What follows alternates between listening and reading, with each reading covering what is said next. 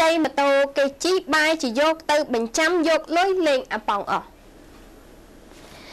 បរិមម្នាក់ត្រូវសមត្ថកិច្ចក្រុងតាខ្មៅខត់ខ្លួនកាលពីចុងសប្តាហ៍កន្លងទៅនេះពីបទរំលោភលើទំនុកចិត្តក្រោយពីបរិះរូបនោះបានខ្ចីម៉ូតូអ្នកស្គាល់គ្នាជី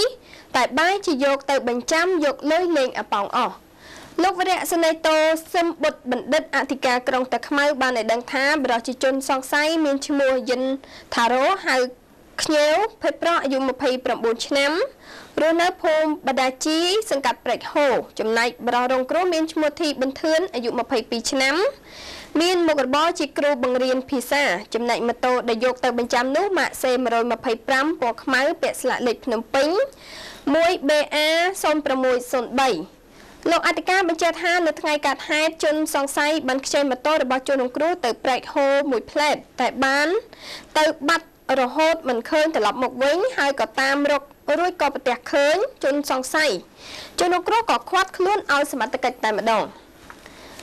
នៅចំពោះមុខសមត្ថកិច្ចជនសង្ស័យបានសារភាពថាខ្លួនបានយកម៉ូតូទៅបញ្ចាំនៅឃ្លាំងរំសើបបានប្រាក់ចំនួន500ដុល្លារអាមេរិករួចក៏ទៅលេងអាប៉ោងនៅវាខ្សាច់នៅចាក់អង្រែលើក្នុងខណ្ឌមានជ័យចាញ់អស់នៅសល់ត្រឹមតែ310ដុល្លារ